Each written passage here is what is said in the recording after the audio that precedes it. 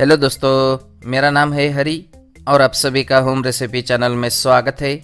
आज मैं आपको बच्चों का पसंदीदा गेहूँ के आटे का हेल्दी नाश्ता बना के दिखाने वाला हूँ, जिसे देखकर आप रोटी या चपाती बनाने के बाद जो आटा बचता है, उस आटे से यह नाश्ता बनाकर घर में सबको खिलाइए। और देखिए, बच्चे तो बच्चे बड़े भी बड़े प्यार से खाएँगे। तो फिर चले फटाफट बनाना शुरू करें। दोस्तों, वीडियो की शुरुआत में हमें सबसे पहले आटा लगाना है। तो उसके लिए ये लिया है मैंने लगभग एक कप गेहूँ का आटा। अब स्वादानुसार नमक डाल के थोड़ा थोड़ा पानी डालते हुए आटा लगाएँगे।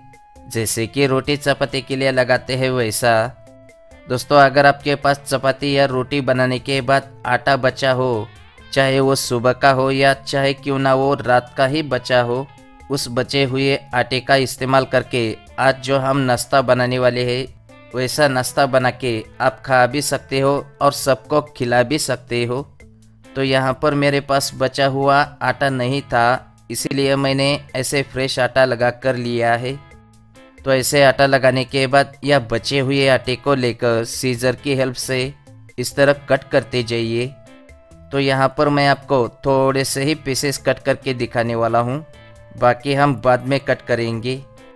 तो इस तरह सेम प्रोसेस करके आप सभी पास्ता एक साथ कट करिए और बाद में एक पैन में काफ़ी सारा पानी डाल के पानी में डाल दीजिए लगभग एक चम्मच तेल। तो तेल डालने के बाद थोड़ा चम्मच चला के पानी में उबाल आने का इंतज़ार करेंगे। और जैसे ही पानी में उबाल आ जाए तब डालना है जो हमने पास्ते को काट कर लिया था उसे। दोस्तों, अगर आपने पास्ते को एक साथ काट कर लिया है तो उन सबको पानी में डाल दीजिए। या नहीं काटा है तो आप मेरी तरह सीधा पानी में काटते जाइए।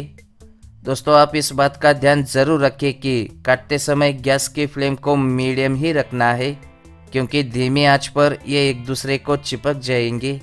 और दूसरी बात यह है कि इसे ना ज़्यादा जाड़ा और ना ही ज़्यादा पतला काट लेना है, बल्कि मीडियम थिक काट कर लीजिए।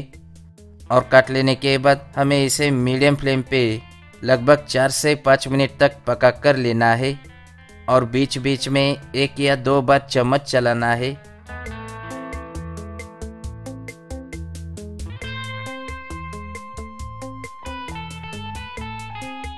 जैसे कि आप देख सकते हो कि इसे मैंने घड़ी में देखकर पाँच मिनट तक बॉईल करके लिया है और यह अच्छे से पक भी चुका है। तो इसे ऐसे पानी में से निकाल के, पानी को अच्छे से ड्रेन आउट करके, पस्ते को साइड में रख कर, कढ़ाई में लगभग दो या तीन चम्मच तेल डाल के गरम करके लेंगे। और जैसे ही तेल गर्म हो जाए, पहले डालना है फाइनली चॉप किए हुए चार से पाँच लहसुन और कद्दूकस किया हुआ आधा इंच अदरक का टुकड़ा। तो इन दोनों को डालते समय दोस्तों, वीडियो शूट नहीं हुआ। तो अदरक लहसुन को पहले डाल के बाद में डालिए बड़े बड़े टुकड़ों में कटा हुआ आधा प्याज। अभी प्याज को भून कर लेते हैं।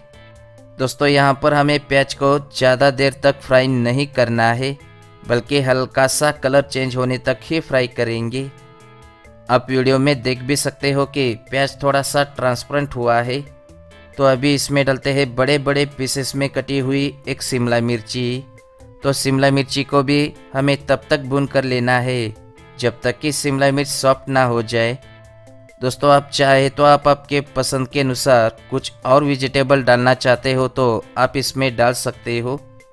तो शिमला मिर्च सॉफ्ट होने के बाद हमें इसमें डालना है एक छोटा चम्मच सेजवान चटनी और सेम क्वांटिटी में रेड चिली सॉस अब आधा छोटा चम्मच सोया सॉस डालकर एक बड़ा चम्मच टोमेटो केचप डालना है। अभी थोड़ा सा विनीगर डाल के थोड़ा ब्लैक पेपर पाउडर डालना है। अब स्वादानुसार नमक डालकर थोड़ा ऑरिगेनो डाल के दो चम्मच पानी डालना है और बाद में इन डाले हुए सभी चीज़ों को कुछ सेकंड तक भून कर लेना है। हाँ अगर आपको आज की ये रेसिपी पसंद आती है तो इस वीडियो को लाइक और शेयर ज़रूर करें और चैनल को भी सब्सक्राइब करना ना भूलें। ऐसे भून लेने के बाद हमें इसमें डालना है जो हमने आटे के पस्ते को बॉईल करके लिया था उसे। अभी इसे अच्छे से मिलाना है। तो फ्लेम को मीडियम टू स्लो रखकर कुछ सेकंड तक चम्मच चलाएँगे। दोस्तों, ज़्यादा देर तक हमें इसमें चम्मच नहीं चलाना है, नहीं तो पास्ता पैन को चिपक जाएगा।